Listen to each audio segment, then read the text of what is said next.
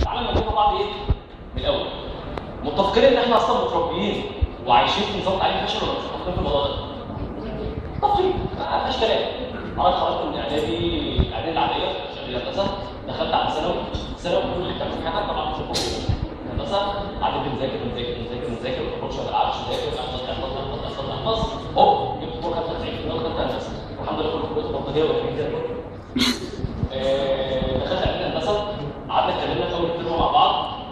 صوت على ال group طبعا أنتوا عارفين يعني في طبعا كل معظمكم يعني. موجود على ال group بتاع الدفعة الرسمي اللي عمرو اللي كنت قاعدين فيه. طبعا بتلاقي واحد داخل كده كل كام أسبوع يقول داخل عامل comment مثلا بوستات مش عارف إيه اللي هو ده إيه، انما إحنا وصلنا لاول ال term جدعان بجد والنبي والنبي محدش يمشي ورا حوار الكورسات محدش يمشي ورا حوار الورق. حاولوا تفكروا شوية أنتوا كده المفروض تخشوا الامتحان تحفظوا وتسمعوا في ال group محدش يتعلم اي حاجة ولا حاجة. طيب. هتخش القسم خلينا متفقين ان حوار القسم اللي أنت بتختاره القسم اللي أنت بتشتغل فيه ده حاجة أخطر حاجة أنت بتختارها دلوقتي في حياتك. القسم ده هو الحاجة اللي أنت هتشتغل عليها لحد ما تتخرج. اللي أنت هتشتغل فيها بعد ما تتجوز يعني. خلاص كلنا بتشتغل فيه ده ده الكارير اللي أنت هتبتدي في حياتك. طيب. ده حاجة من الاثنين دول. ايا كان القسم اللي أنت هتشتغل فيه يا إما هتمشي فيه بالمنتاليتي بتاعت قد إيه هندسة؟ برضه. يعني مش إيه ده عندنا الترم خلاص يلا نذاكر قبل الترم إيه حلو. فكرنا؟ جمعنا كلمتين في الامتحان. خرجنا لحد ده في دلوقتي الولد اديته مساله الحرارية أو الخاص بتاعت الترم الأول لو عرفت يحلها أنا عايز أقول إيه. لو اديتكم مساله صعبه شوية في التفاضل أنتوا دلوقتي بتكمل. ممكن تكونوا فاكرين شوية. لو اديتكم مساله في الكيمياء الكيمياء حد حد يعرف يحل مساله الكيمياء طيب. قوي قوي يعني وانتوا بتشتغلوا في المجال بتاعكم. بس تبقى كارثة لو انت بدأت في الترم الجاي بتاع السنة الجاية اللي إحنا داخلين عليها دي في اول سنة في التخصص بتاعتك بنفس العقلية أحب ابشرك انت كده بتضيع أربع سنين في الحوار. آه، طيب آه، غير إن أنا قلت حتى طلبه المفروض إن أنا في سي دي اكبر منكم سنة خلاص أنا في 100 والمفروض إن أنا خامس على 40 السنة الترم اللي فات كنت جايب الترم اللي فات الترم الثاني خلينا هندسة. كنت جايب امتياز كنت جايب 810 من 4 وبعدها أسبوعين كنت بفوق عشان بحاول ورق الكليه ليه؟ مش ما حسيتش إن أنا بعمل حاجة. حسيت إن أنا داخل عمال أرجع كلام. واحفظ أرجع كلام. واحفظ أرجع كلام. واحفظ قشطه كده وفي امتحانات تقفلت امتحانات كده جاي الدولة لقيت حلو أنا خرجت. حسيت إن أنا إيه؟ بس أنا بعمل إيه؟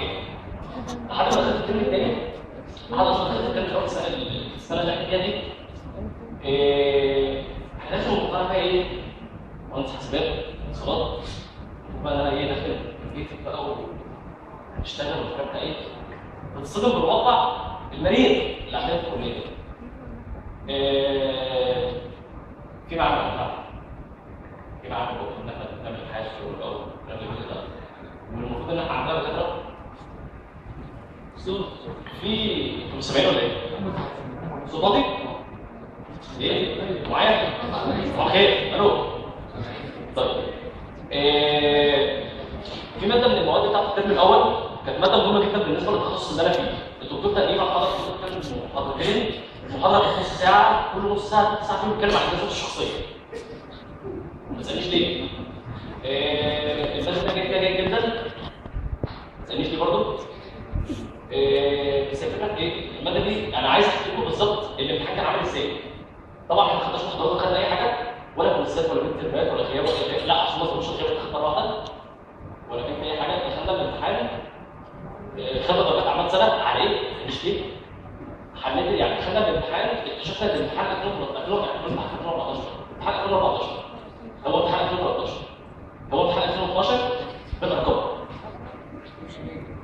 قشطه أنا عرفت الامتحان كله طلع الامتحان بس أنت عمال تقول كده؟ اتكلم فيه يعني؟ اصل أنا بتقل من نفسي لو حليت دماغي حلو. وفرحت. وبقى انجاز ونجحنا وقدرنا ورحت اتنظر عليهم في البيت بقى ومهندس ومش عارف بتاع إيه ولو كان حد تاني مسلم الماده دي والله يعني يلا. المهم اللي أنا كنتش واخد بالي منه في الترم الأول إن المادة اللي إحنا كنا بنتكلم فيها دي معتمد عليها ماده في الترم الثاني كارثة. ركزوا في الحته دي بعد كده هندسه قشطة الكيمياء ماده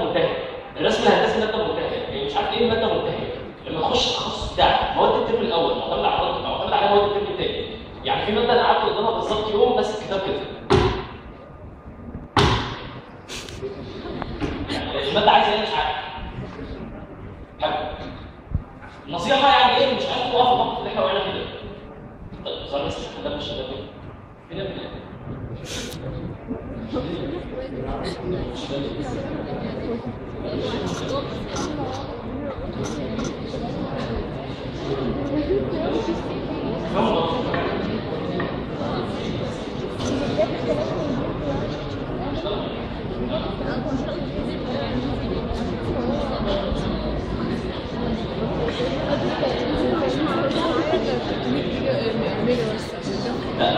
أنا معايا يجي 10 دقايق بس في فيديو طب غير اشتغل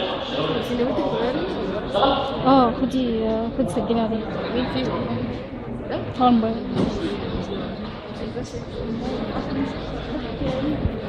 ده إيه ده؟ ولا إيه؟ ها؟ هعرف اتصرف ما إيه تشوف الصور إيه، باختصار عشان ما عشان بس أنا ضغطت زيكم هنا ال 10 دقايق أنا هتكلم دول هقول لك باختصار بعيدا بقى عن الكلام العاطفي والكلام الرومانسي بقى والامور العيانه والجو ده. إيه، انت علشان تنجح في الأربع سنين الجايين دول وتتخرج مهندس بيفرق. مهندس بيعرف يشتغل. مش مهندس جايب تقدير أو مش جايب له مرتب مادتين ثلاثة أنت قعدت سنة مرة أو اثنين وبعدين تخرج واحد جاب له شغلانة في السعودية راح اتمرن مرتين عمل له كام فلوس وخطب ورجع تاني. عشان اعرف بس آه،